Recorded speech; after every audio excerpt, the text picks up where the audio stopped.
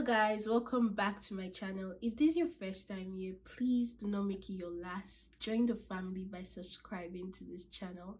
My name is Rarosue Amaraibi and on this channel, I film contents about graduate school, sustainability education and lifestyle. Today is another episode of the Career Feature series, and we have Ubah on the channel. Ubah came from Nigeria to pursue a graduate degree in chemical engineering, and in the middle of um, this degree pursuit, he switched completely to another field, which is computer science and he's excelling perfectly in this field with um, internship and full-time offers from top firms so I want to talk to you today to find out why he made that switch. I was confident enough to make that switch even in the middle of a chemical engineering graduate degree and how he has been able to um, excel in this field. So without further ado, let's get right into the video.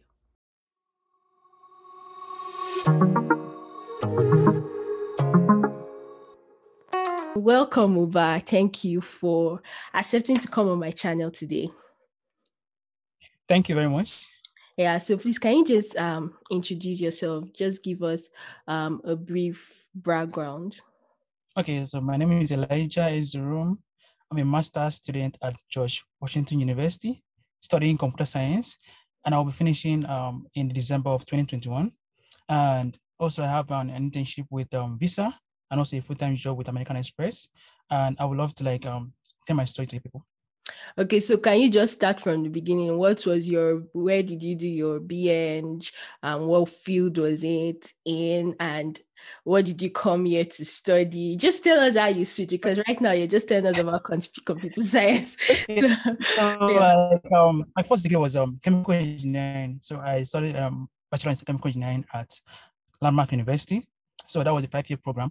And after that, I came to the United States to like study masters in chemical engineering at Clarkson University. So along the line, um, I told myself, uh, will I continue doing um, chemical engineering because of the free tuition and free stipend? And like, what do I want to do in life? So I have to make a decision on what I want to do. And I noticed that like while I was growing up, I love um, working with technology, uh, technological stuffs, and I love uh, working with computers. So like when I was more, I fix computer for people, and I install softwares for different people. So like they know me as a computer guy when I was small. So like while doing chemical engineering, like I got a full scholarship to study bachelor in chemical engineering at Landmark University. So it was based on scholarship that made me study the course. So oh, like, oh, really? After, yeah, I got a full, full, scholarship for chemical engineering. So after that, I came to United States again with full scholarship again for chemical engineering. So along the line, I told myself that I can't be just doing full scholarship. What do I want to do with my life?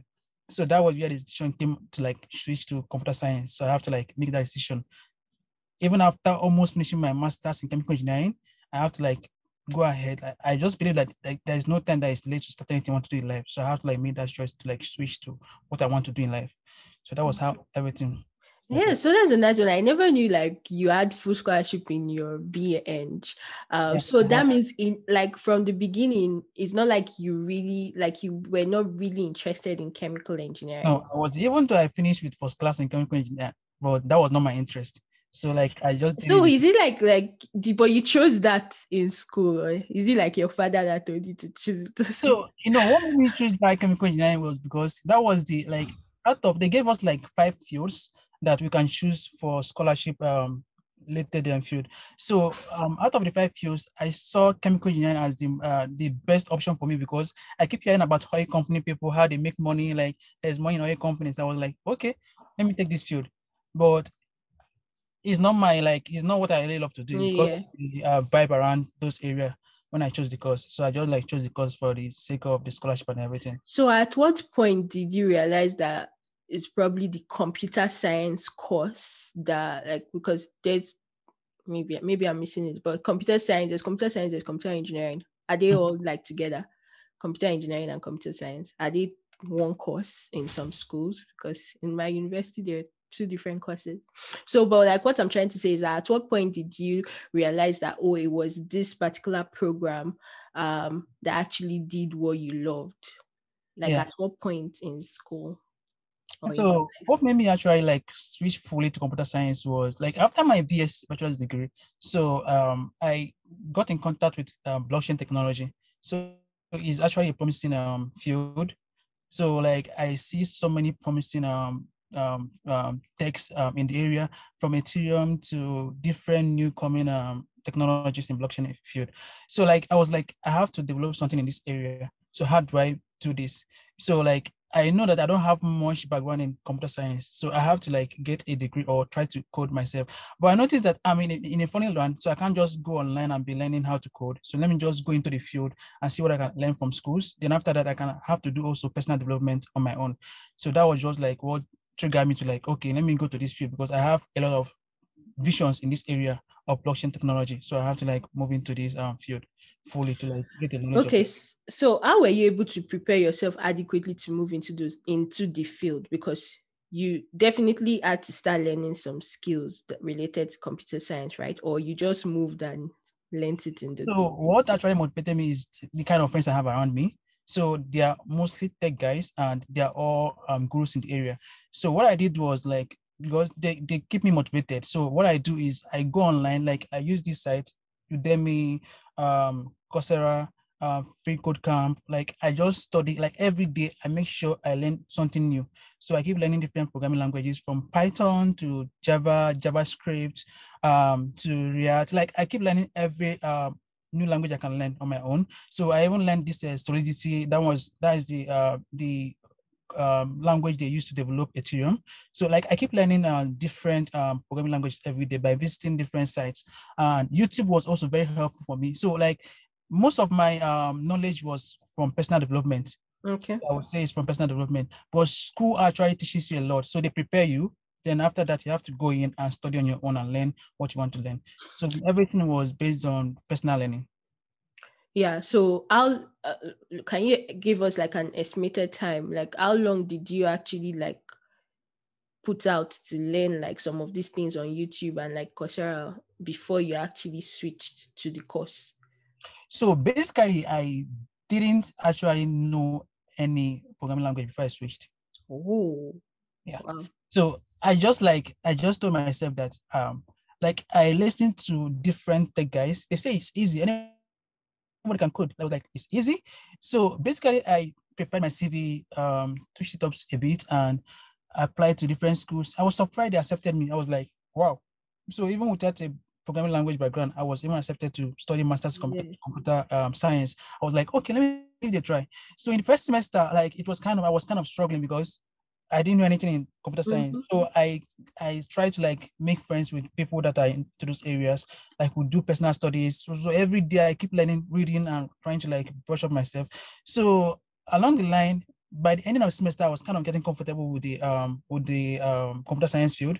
So I started applying to different companies. So by applying, the first um, interview I had, I was kind of it was kind of very strange to me. Like I didn't know anything about lit LeetCoding and everything. So they gave me questions to like solve. I was looking like a moron, like, what is this? so I was like, okay.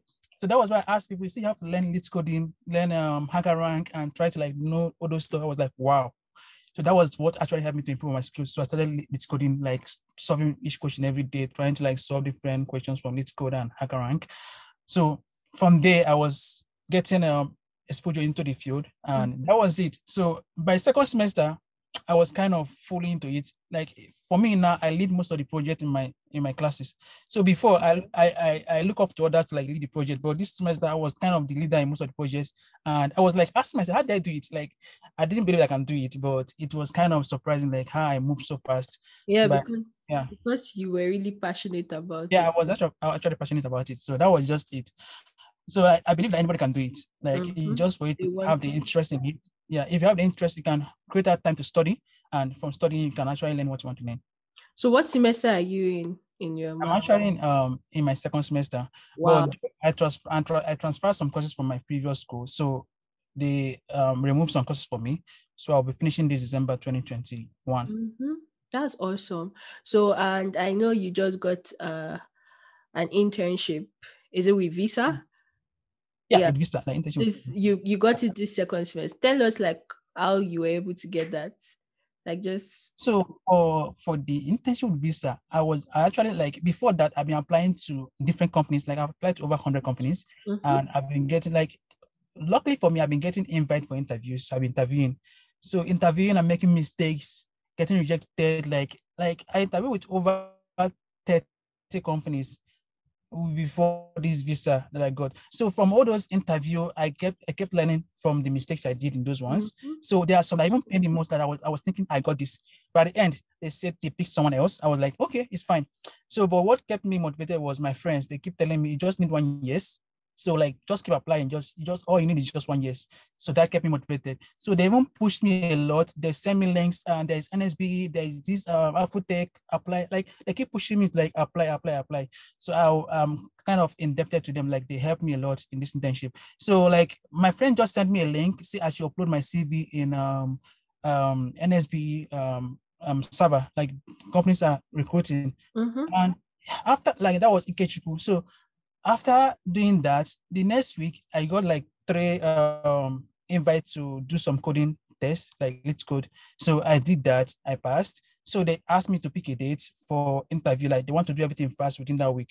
Well, I picked a date. So I interviewed the top manager for um for Visa.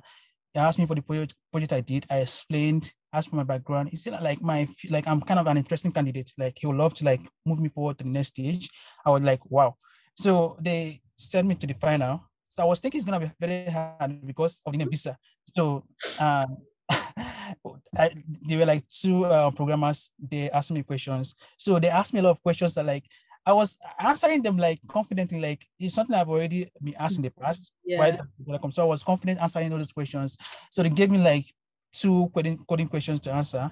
So I solved them, like I solved them they ask me to optimize the solution and give them the best result. So sometimes like I won't even know the perfect um, solution. The interviewer will help you like give you some hints on what to do.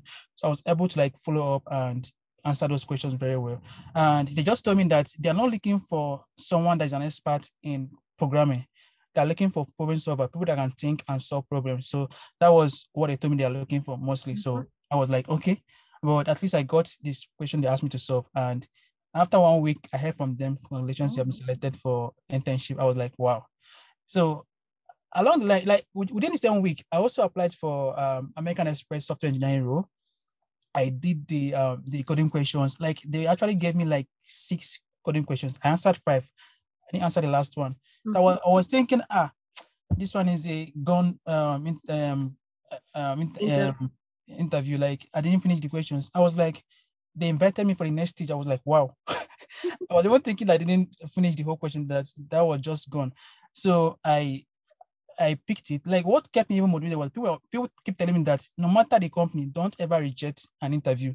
Mm-hmm. And that period, um, Visa and American Express was, was clashing. I told them that okay, can they shift their own time to the next day? They agreed and shifted it to the next day and I interviewed with the um, interviewer and he asked me some questions. I answered them, he asked me to go over my solutions with him. I went over the solution with him and all my coding um, in the coding uh, question, I went over the solution with him and he asked me several questions, um, how I arrived at this, the, the way I thought about it and everything. I explained myself and he moved from that. You see, he, wouldn't give me a new coding question. Like he would ask me some problem problem solving questions. So he was not asking me some puzzle and trying to know how I would think. When it was kind of stressful for me to be like answering puzzle questions at that moment. So I tried to answer some. But after the interview, I was thinking maybe I, since I didn't get all the puzzle questions correctly, maybe they won't pick me. Surprising to me, I got the job. I was like, wow. So most times what we think will not happen actually happens. So like it was just surprising to me how I got both of them at the same week. So, so was that internship too or full time? Full time job. Um, okay. So you were applying for both internships and full time yeah. jobs. Yes. Yeah. So like when when did you start applying your your first semester? Or so I you know my friend in the tech asked me like even though I'm starting now, I must start applying now that I shouldn't waste time. So by the time I'm finishing, I'll be used to the whole interview um, steps and experience. So I won't be kind of test. So all the rejection I'll have, I'll have them from the beginning of the semester. Then when I'm about to finish, I will be kind of good to answer interview questions. I can get my roles. So that actually kept me moving. So for my first semester, I was applying, even failing interview um um some of the interviews. So I kept applying and try my best. I interviewed even Facebook, Amazon, like most of the top companies. I interviewed with them, but they didn't pick me. But I kept on trying, and I was getting experience from them. So that was just um, what happened. That's awesome. So, um, what what advice, like from your the lessons you've learned through the entire process, what advice would you give to um others in a place where they like they're currently in a place where they think it's too late to switch because they're like far gone in a particular program that they probably don't really like. Yeah. So what so? I won't, I won't say I won't say it's it's too uh, late to switch. Anyone can switch. Like it's just for you to make that um, decision to switch. Like um, there is no late time. Like once you have that zeal and you have made up your mind, okay, I want to do this, unless you don't want to switch on your own. So when it comes to computer science, it's not that hard. It's just that people see it as being very hard. It's not hard at all. Anybody can do it. It's just for you to make up your mind. I want to learn this. I want to go into this field once you put your mind to it, like within, uh, like let's say from the beginning part, it may be hard to you, but as time goes by, you start learning the tricks and everything. Like almost all programming languages are kind of related. Once you know the basic syntax for each of the programming languages, you can do it. It's just to know the syntax for each of them and apply them accordingly, and everything becomes so easy for you. So I believe anybody can do a program. Anybody can do it. It's just for you to make your mind. Okay, I want to do this. Mhm. Yeah. So, what are your future plans? Because you talked about blockchain and Ethereum. Are we are we looking at a cryptocurrency from you in the future? Oh, for me, like I'm, I'm, I'm looking towards that. I'm trying to like create something in the in the blockchain field, like um in the future. So I just want to like get more exposure into the um computer science field, gain some experience, like be very good in so many languages and everything. Then from there, I can now move into my personal um vision on Mhm. developing something in the blockchain field because I see blockchain as very promising. Like so many things are happening there, and even so many developers are moving into the blockchain field. So I believe that it's going to be very, very interesting soon. So I believe that um maybe in seven years or ten years coming, I should be able to like get the kind of experience I want to move Mm. into the blockchain fully. So Mm. uh, it's a very promising field. I believe um it has a great future.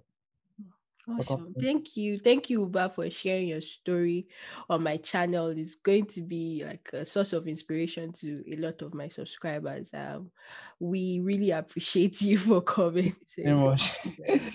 Um, so guys, um, thank you guys for watching. Um, if you are not yet subscribed to this channel, what are you waiting for? Click on the red subscribe button now. Please hit the like button, comment. Like I'm going to leave Ubah's details down in the description box if you need to contact him, um, network with him, ask him questions more about like his switch. You can do that. Um, yeah, share this video to someone you think um you think might gain from it. And yeah, I'll see you guys in my next video. Bye.